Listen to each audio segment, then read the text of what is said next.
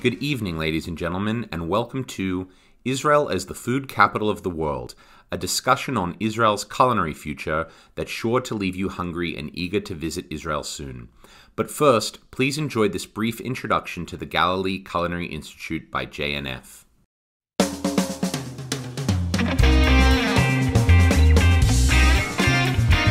I'm super excited to be sharing with you our upcoming Culinary Academy with Jewish National Fund and myself in creating uh, a unique international culinary center in the Upper Galilee in Israel. Not a cooking school, a full-blown culinary arts school where you will learn everything about culinary arts from the front of the house to the back of the house, from food security to food technology, from inventory to bookkeeping and accounting and running your own restaurant. Our students will be trained by top professionals and celebrity chefs that will be coming. And we will turn the Upper Eastern Galilee to the culinary capital of the world. Stay tuned.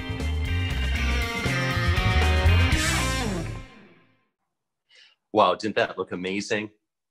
Well, I'm Steven Shalowitz, and in addition to hosting this segment, I'm also the host of the One Way Ticket Show podcast, as well as Jewish National Fund USA's Israelcast podcast.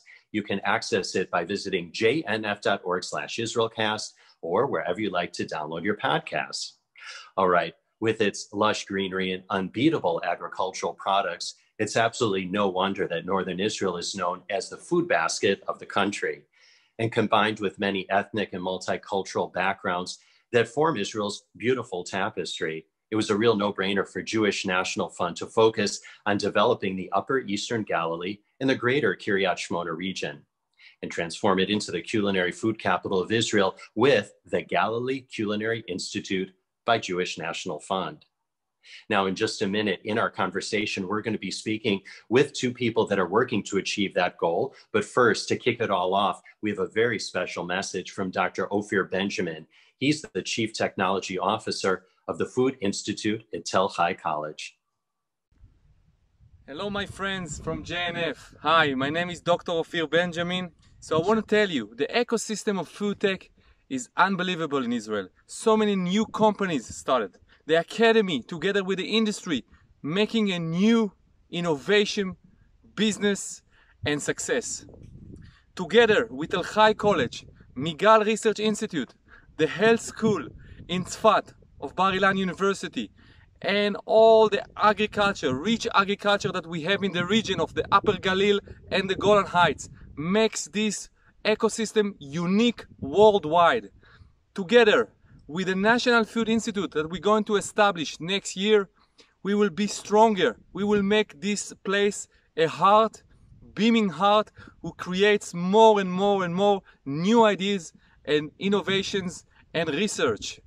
And I believe that together with the Culinary Institute in Gonen, it will be a great partnership that we can match each other and combine it into the fields of research in food science and together with culinary that you guys have in the Culinary Institute. Well, he really couldn't have said it any better. Now, Jewish National Fund's vision for the Upper Eastern Galilee is that the region becomes a magnet for food tech, for business management, for restaurants, food and agricultural R&D, for the hospitality industry, and really so much more, all with the goal of moving population up to the north. Now, Jewish National Fund and our affiliates are truly building a unique ecosystem unparalleled anywhere else in the world and the Galilee Culinary Institute, along with the Beit Asher Food Innovation Center on the Greenbaum family campus, are key to achieving our goals for the region and indeed for Israel as a whole. And to tell us a little bit more about Jewish National Fund and Tel Chai's partnership in the Galilee Culinary Institute and its benefits to the Kiryat Shmona region and its people, we now welcome Chana Pretzen. My name is Chana Prizan. I worked for uh, uh, many years for the financial industry in Israel, where I was born and raised. But also, I volunteered in uh, many, many organizations. Amongst them, I'm the head of the board of governors of Tel Chai College, which is a college located in the northern point in Israel. I see a huge, huge opportunity in creating the Galilee Culinary Institute, uh, which will be a possibility to upgrade the uh, culinary industry in Israel and take advantage of the culture mixture that is up north and also of the seven species of the Bible that are growing there. For example, the olives, the grapes, the figs, and uh, all the rest. So collaboration between these two institutes, Tel Chai and the uh, Galilee Culinary Institute, and the uh, country will be a huge, huge opportunity. All right, that was fascinating. So now let's get into the conversation and to talk about the finer details of the Galilee Culinary Institute and really the whole culinary revolution taking place in the northeastern part of Israel. We have our two very special guests. First, of course, is Lior Lev Sercarz, master spice blender and chef, owner and founder of La Boite, a biscuits and spice shop right here in the heart of New York City. Lior is also the director of the Galilee Culinary Institute and will oversee the curriculum for the school. We also have with us Nathan Hoffman. He's the CEO of the Galilee Culinary Institute, responsible for the strategic leadership and oversight of the Institute's operational and change management process. Nathan and his family currently live in Sfat, but they actually made Aliyah to Israel back in 2017. Welcome to both gentlemen, and thanks for all you're doing up in the northeastern part of Israel. Thank you. Thank you. All right. Right. Lior, let's first get started with you because I tell you, you and the entire team have really come a long way since you started this journey developing the Galilee Culinary Institute. And really, before we get into some of the nuts and bolts of what's going on right now and in the new phase of the Institute, if you can just take us back, when did you actually know that you wanted to enter into the culinary arts and to become a chef? I'm guessing it wasn't when you were eating in the cafeteria at the IDF when you were a sergeant. Uh, most likely early 80s, melting chocolate on a radiator with a sets of toy pots and pans. Uh, that's kind of the early memories of, of food excitement. Uh, as much as the food scene in Israel growing up in the 70s was far from being good, and that's being kind, um, the produce products were always amazing. So I think growing up, I was just exposed to the amazing uh, culinary scene, which was for years at home. And that's what got me excited then later on cooking a little bit at home, then the army, and then uh, travels around the world that led to this idea of pursuing culinary studies in France and then New York and everything that came with it. How fantastic. So you really started when you were young and you're really uh, finding your passion in something that you started really as a child and had a great interest in it. So really well done and lucky for you to be able to do that. And Nathan, you've actually had a very interesting trajectory in making it to where you are today at the Galilee Culinary Institute because you were doing M&As for Ernst & Young. So talk to us about your journey there in terms of moving away from that part of the world, how you made it to the GCI and how you and your family decided to make Aliyah to Israel. Yeah, so I'll keep I'll keep it short because it's a very very long story. Sure. But it started out, I knew I always wanted to start a business and didn't know what business that was. So I figured I'd learn the language of business, which is accounting and finance. So I started at Ernst & Young, got into auditing, mergers and acquisitions. And then as I was there, I wanted to figure out what I was going to do uh, in terms of new businesses and startups. And so through a long journey, I went out to Arizona, uh, moved out with my brother, and spent time working on startups. Um, so while I was getting the experience in the business side, I was always kind of formulating the the startup side and things that I wanted to work on. So as I was there in Arizona, I worked on several startups, and um, I really love putting things together and seeing things kind of you know work through um, you know different pieces and, and realizing that uh, really all businesses have like a similar foundation. And so that was something for me when I when I got into um, entrepreneurship that I love to see kind of the, the pieces and the end result. And so while I was in Arizona, um, I, I was really heavily involved in the nonprofit world. And I, um, I grew up in Silver Spring, Maryland. Um, I was not very um, observant. I didn't really know much about Jewish National Fund. And while I was in Arizona, I actually found out and someone told me about the work they're doing. you know, I remember at my bar mitzvah, I got a, uh, a tree. And so that was all I knew about JNF. And so while in Arizona, someone told me about what they were working on. I, I didn't, had, had no idea. And I really, um, once I started to learn about their impact, it was, uh, it was amazing.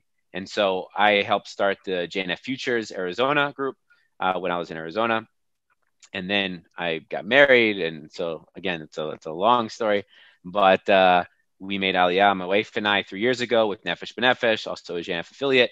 And um, while I was doing startup stuff and helping some companies in Arizona, um, I was in the north of Israel and basically trying to figure out what I was going to do. I was doing work from America, but I, I, knew I wanted to have impact in the north of Israel. Didn't know what that was.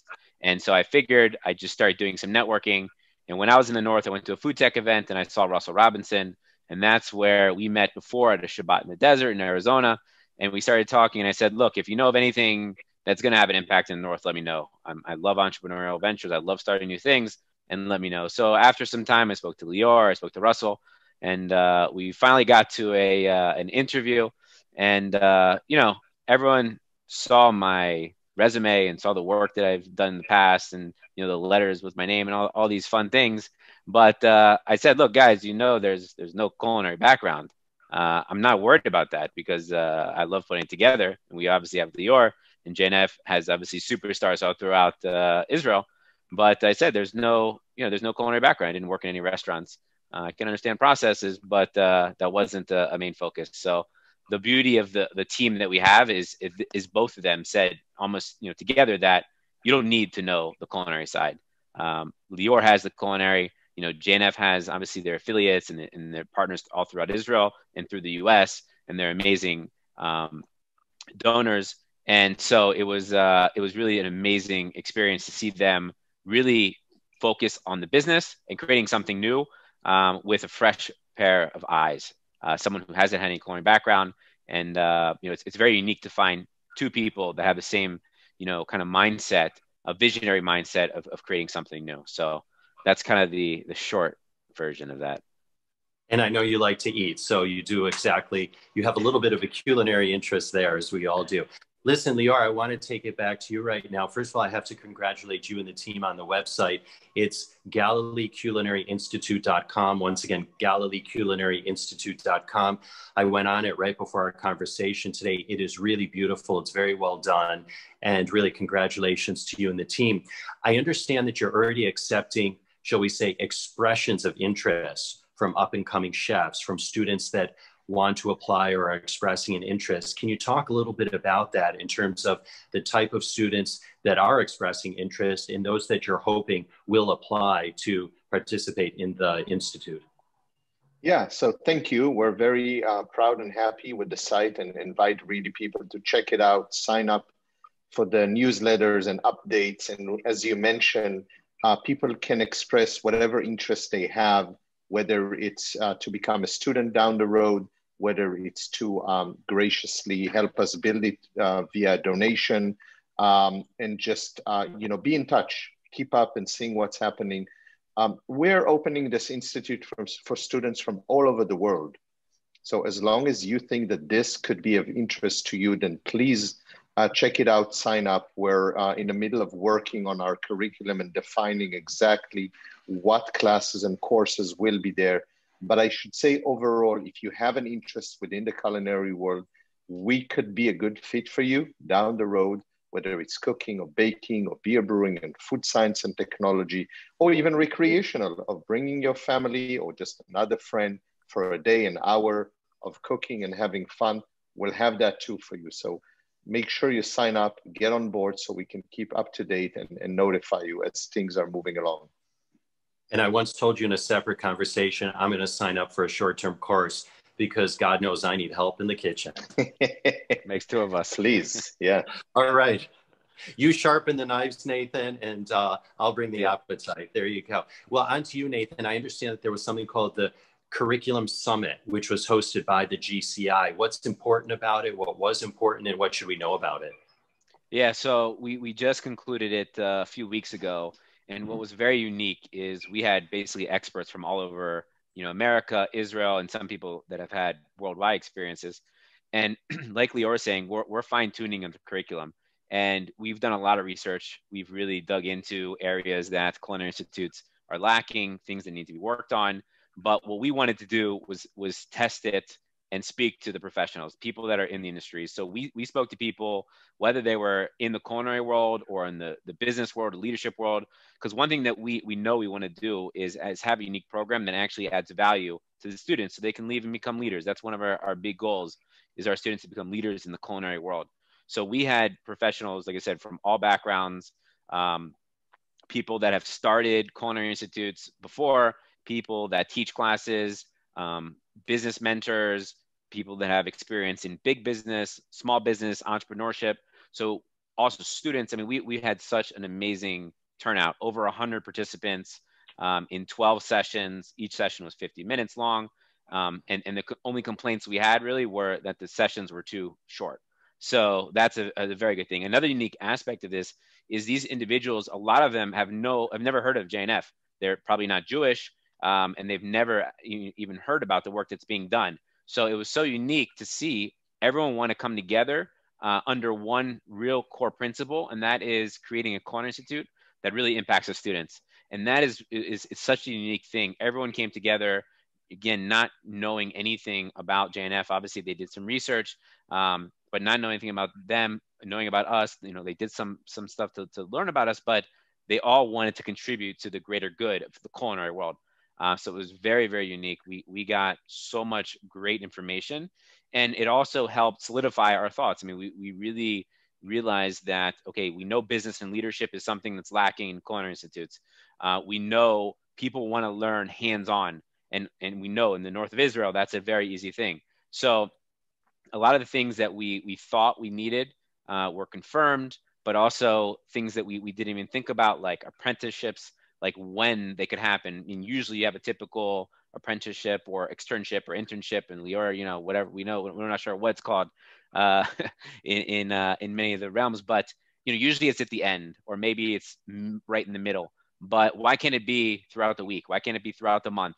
So we really are trying to figure out what is going to provide the students um, with the greatest experience, so that when they leave, they have an impact. And then also something that Lior always says, and we've been talking about, is you know it's not about them leaving. They can always come back and, and go back and forth. You know if they need more learning they need extra curricular uh, you know experience they can come take another couple classes you know fine tune some skills whatever it may be but it's really creating a relationship with the students and creating something that that works out long term Lior, anything you want to add to that no, I think it was an amazing uh, four days of, like Nathan said, uh, so much talent and people who willingly gave their time and, and knowledge and with so much excitement that gave us even more excitement and proved uh, how right we are and that we're on the right path. And uh, I'm excited with Nathan to share in the next couple of months with everybody the um, suggested curriculum or programs for the future.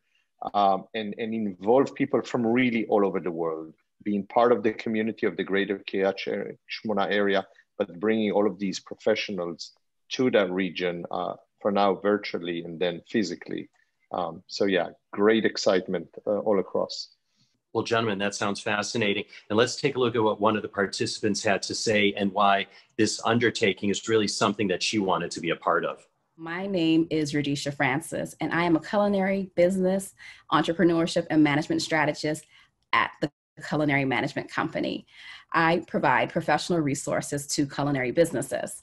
I decided to participate in the Curriculum Summit because what the school, the Institute is offering is very interesting to me. And what I like the most about it is that it does not only focus on the individual as a student, but an entrepreneur. I always tell people that culinary school does not prepare you to be owner, it prepares you to be an employee. And the immersive approach that GCI is taking is that it's not only for those who are interested in learning the trade, but for those who are interested in business. Also, accompanying it with the tourism aspect and also taking into consideration other factors of the food industry. And I think this is very important because not only will you get an academic education, but you'll also have business skills once you leave there. And I find that the attrition rate in the food industry is so high because most people have no idea how to approach business in the food industry. So I look forward to seeing how the company grows, how the institute grows, and how other industry professionals can participate and contribute to the success not only of the institute but the individuals that come. And I, I'm very, very, very grateful and impressed to see the business, the business elements that they're adding to it. So, in my job as a strategist, I provide consulting to major companies, four and five star hotels and restaurants, but also to small individual businesses.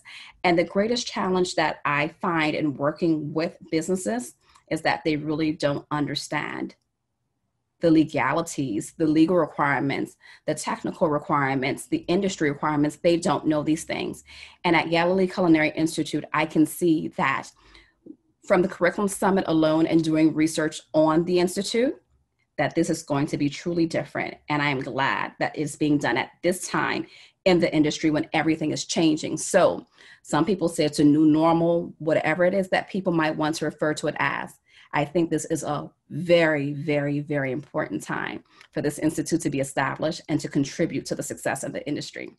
Well, we want to thank Radisha for that. You know, one of the things that I think is so fantastic about the GCI is that students will be able to learn from top chefs from all around the world, including Michael Solomonov, of course, the founder and chef of the award winning restaurant in Philadelphia called Zahav. I can't wait to make it down there and have a meal there.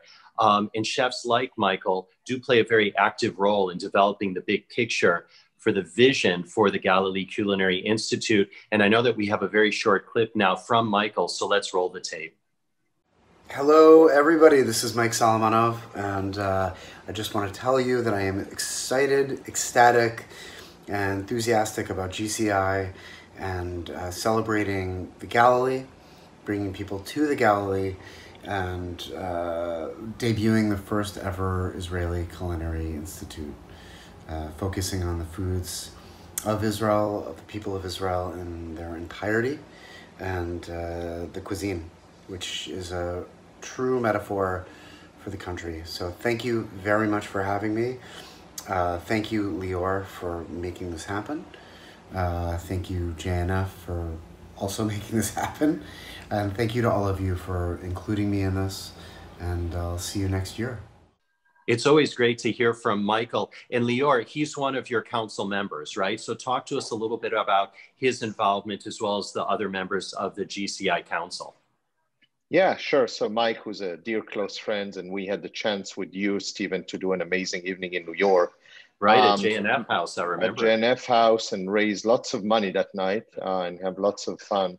Um, Michael is um, part of our culinary uh, council of professionals uh, that also includes Dana Cowin, the former editor of Food and Wine magazine, and Chris Shepard, a chef and owner of a few restaurants in Houston, Texas. Uh, Michael and all of the two, and there will be more down the road. Um, you know, gladly joined our team and working with Nathan, with Russell, with the JNF team, and everybody to build this to become really the best institute that we could do and contributing after their knowledge not only helping us to build curriculum, but acting as our ambassadors over the years in their respective regions and uh, helping us contact new talent, new um, chefs, new professors. So, really being an integrated part of our team for the long run. It's not just building it and then leaving us, but really committed to being with us. So, we thank them and we hope to bring more and more like them to join us over the years. Yeah, I think it's fantastic because they're some of the best in the business. And I remember going down to Houston with you as well for an event for Jewish National Fund and for GCI and meeting Chris Shepard down there. And he's an absolute force of nature. So really, I think the students are in for quite a treat when they learn from all of them. Now, Nathan, the uh, Institute's development continues to go from strength to strength. So congratulations indeed to both you, Lior, and the rest of the team. And I believe that thanks to a generous commitment from Stephen and Linda Rosenfield in Arizona, GCI by JNF, will now incorporate the Rosenfield School of Culinary Arts. So tell us about the impact a gift like that has on the Institute. Yeah, I mean, you, you really can't uh, express the gratitude for, for someone um, providing so much for the Institute. I mean, just having them involved in general, I mean, you know, Steve is, you know, has a great background in, in business, you know, in restaurants and, and several other businesses. And so having them involved is, first of all, a blessing with their expertise, but then also them helping to fund. I mean, this is what allows us to create such unique program, and it allows us to to really create something that is going to have an impact and and allow their legacy to live on. So every student will be able to to get a degree from the Rosenfeld Culinary School of Arts, and and so it is really uh, it's a huge blessing to be able to um, get such a, a contribution that's going to have such an impact on our institute. Indeed. Now, Lior, when you partner with an organization like Jewish National Fund USA, you know there's always going to be a broader, more strategic aim, a more strategic approach to the support. So I'm wondering right now, just in the moments that we have left, if you can share how you feel GCI by JNF fits into Jewish National Fund USA's larger vision for the Galilee region. And also, if you can share a little bit about what it means to you personally, because of course, as I believe you mentioned at the top of our conversation, you grew up there. Yeah. So, uh, what better way to um, to go back home? You know, I was born and raised in the greater Kiryat Shmona area, uh, in Kibbutz Dan, which is eight minutes drive from Kiryat Shmona and, and about 10 minutes from where GCI is being currently built. Uh, and I think those were the foundation of my initial uh, conversation with Russell Robinson and Jewish National Fund is aside from our love for culinary, is how can we use GCI as the best tool as many other ones that JNF is building, the medical center and, and, and the food tech center, to bring life back to this region.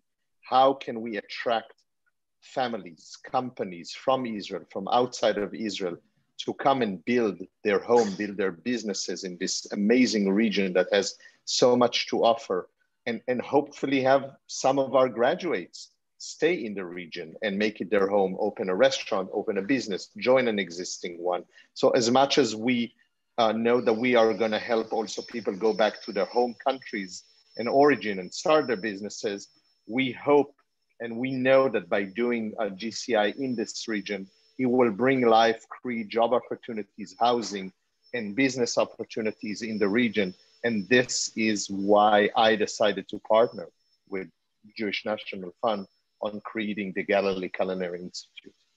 All right, Lior, just to build on what you just said, we actually have a brief clip now from Yael Peled from Kibbutz Gonen, who's going to share a few comments with us.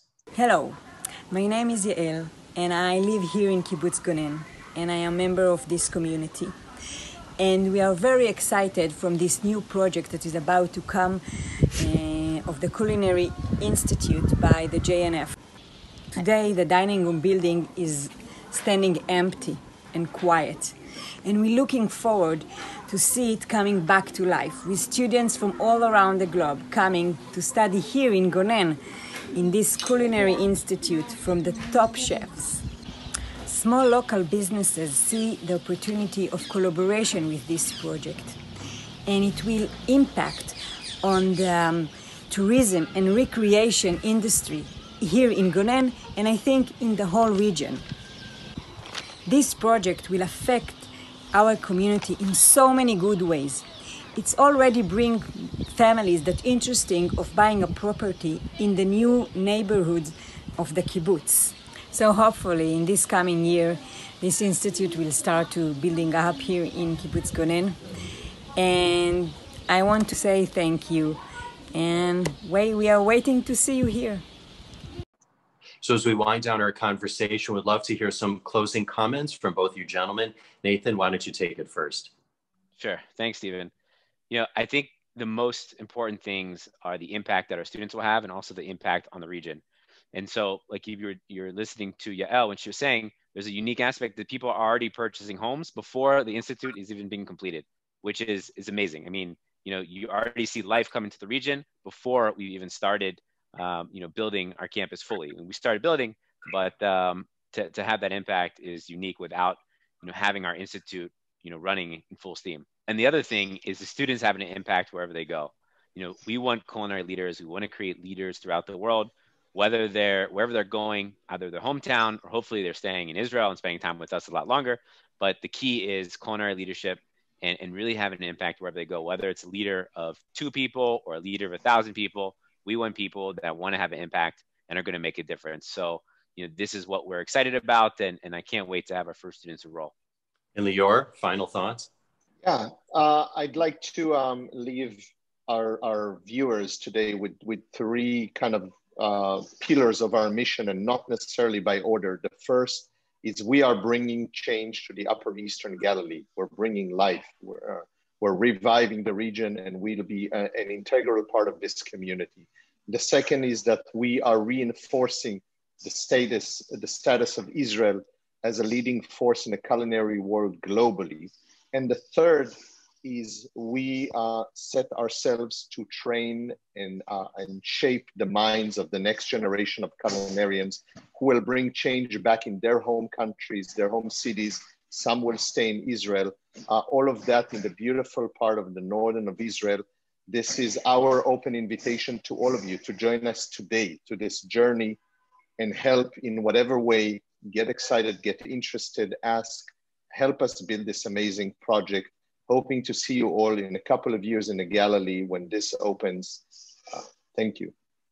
We'll see you there. Lior Lev Sercarz and Nathan Hoffman, thank you so much for joining us on this segment. We look forward indeed to seeing you up in the Galilee. And we want to thank everybody for tuning in indeed to this segment to learn about all the exciting work that's happening now in the Galilee, especially with the Galilee Culinary Institute by JNF and really what it means for Israel, for Israelis, for students, for the global culinary community as a whole. So we thank you very much for joining us. And we understand that the first cohort students is set for the fall of 2022. So do mark your calendars. It's really not that far off away. Once again, the fall of 2022. But in the meantime, I'm Steven Shalowitz. Bon appetit and bete avon. Thank you, Steven, Lior, and Nathan, and thank you all for joining this session. A reminder that we begin tomorrow at 12 noon Eastern and 9 a.m. Pacific for our session entitled Why Beersheba with special guest Beersheba Mayor Ruvik Danilovich. At 7 p.m. Eastern, 4 p.m. Pacific, tune in for Going Home to Israel Stories from Our Students to hear from students who are studying at Alexander Muss High School in Israel right now. Good night.